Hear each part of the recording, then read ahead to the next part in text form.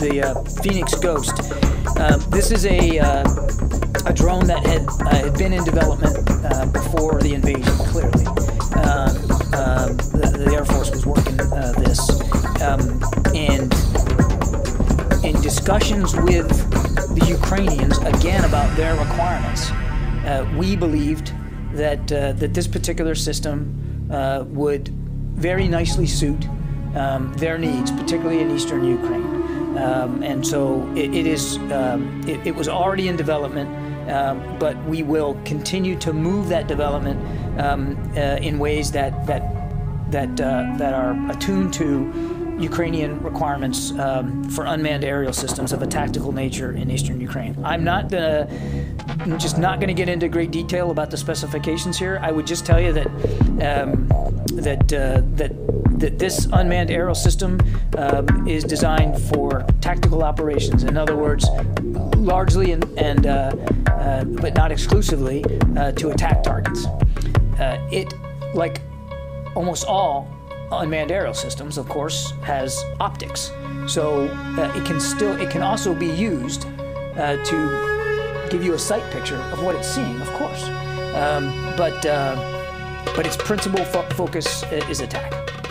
Because the, the, whole idea of this was for us to use it. So I would expect we'd still have an interest in, in, in using this capability, but uh, we're also now, we see the benefit right now, in the moment, for Ukraine. And so we're going to.